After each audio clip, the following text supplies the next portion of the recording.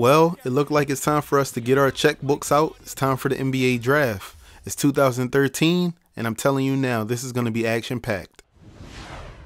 Good evening and welcome to the 2013 NBA Draft. For 60 of the world's most talented and dedicated young players, tonight marks the culmination of years of hard work as their dream of playing in the NBA moves closer to reality. To all of the fans watching around the world and to those here with us tonight, thank you for joining us. And now to the task at hand. Oh my god. Oh my god. Oh my god. Look at this. Do you guys see what's on the screen right now? Hold on. Wait, wait, wait, wait, wait, wait. Let me get my life together. Let me get my life together. Oh my god, the Bobcats are really trying to give up the first round pick four? Who is Jeff Taylor? Somebody Google that guy. I don't even care right now. Hold on. All I got to do is give up Evan Turner in the 2014 second round draft pick. Hold on. Wait, I got to breathe. I know I can do this. This is. Okay. I want you guys to leave in the comment section. Should I have done this trade? I'm, I'm, I'm going to follow through with it. This is the number four pick of this round. It has to be done. It has to be done. Just tell me what you guys think, please. But why does it have to be me? Why why do I have to be the sacrificial lamb? I don't understand. I, I thought that I was doing good for you guys. What? This pick is a definite no-brainer. I have the number four pick in the first round. Nerlens Noel is available. Andrew Bynum is gone. So this right here is easy pickings. It, at this moment, it feels like I'm literally picking daisies. That's how good it is. With the fourth pick in the 2013 NBA Draft, the Philadelphia 76ers select the 20-year-old big man from the University of Kentucky,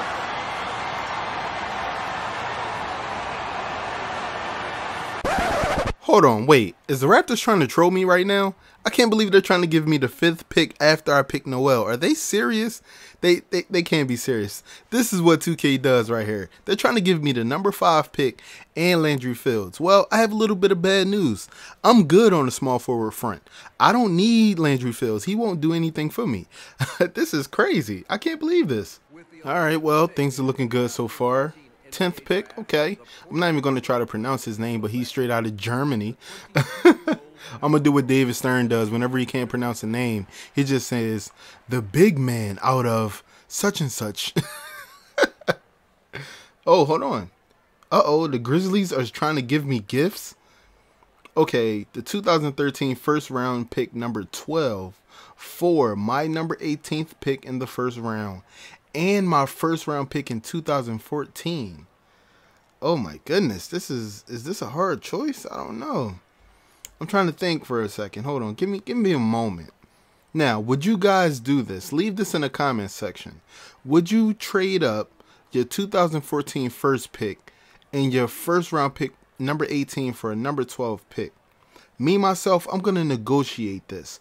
But what I want to ask you guys is would you do that?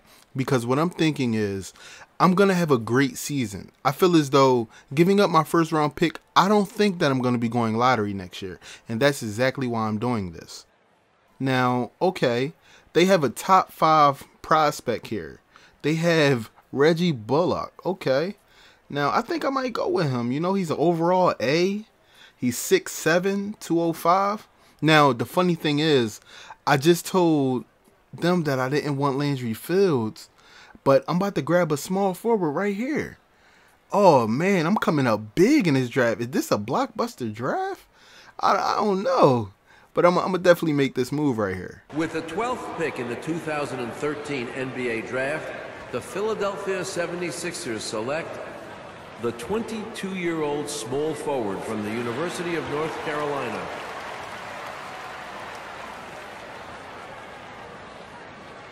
This concludes the first round of the 2013 NBA Draft. I want to thank all of the fans of the NBA for joining us tonight. The second round of the NBA Draft will be conducted by Deputy Commissioner of the NBA, Adam Silver. Thank you. Well, the first round is over. I guess it's time to hop into the second round now, right? Welcome, NBA fans, to the second round of the 2013 NBA Draft.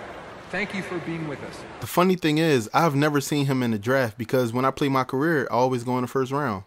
Okay, what are the Clippers trying to do here? Alright, since you guys lost Chris Paul, of course, you're going to try to take my second round number 18 pick for a number 23 pick? Come on, why would I even do that? That's the stupidest move I ever heard of. I'm on the clock.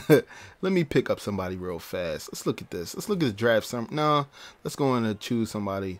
Look at this. Ben McLemore is wow. Hold on, am I about to get a couple steals? Come on, this this is probably the best NBA draft I've ever been a part of. Look, oh, Tim Hardaway Jr. Nah, I'm gonna go with Ben McLemore, man. A lottery pick in the second round, I gotta go for it. Got to. With the 48th pick in the 2012 NBA Draft, the Philadelphia 76ers select the 21-year-old shooting guard from the University of Kansas.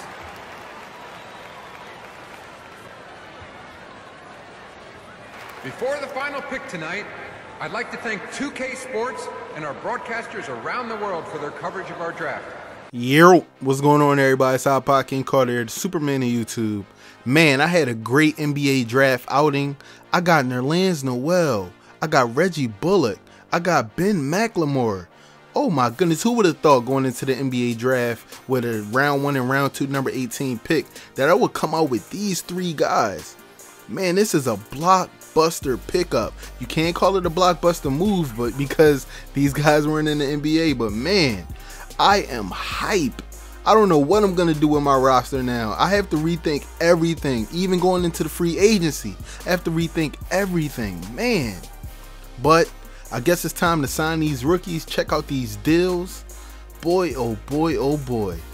Truth, I got these guys for the low low. Now, you know I had to take it to the bank. you know, cash out. You know, you know grab that little receipt.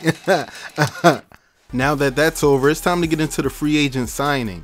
Now, I know a lot of guys wanted me to get a lot of different players. For instance, Chris Paul, Bynum, and Dwight all on one team.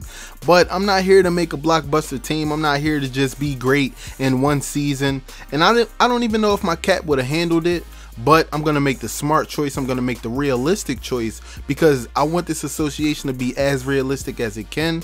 So I'm going for JR Swish. That means that he's about to get 28.47 mil. He's to get a player option and he's to be a starter with no trade clause. I'm, I think I think that's a good pickup. Now, the next person I want to get, I got to get Patrick Beverley. After the way he did the Russell Westbrook, I know that he's an enforcer. but guess what? He declined my trade.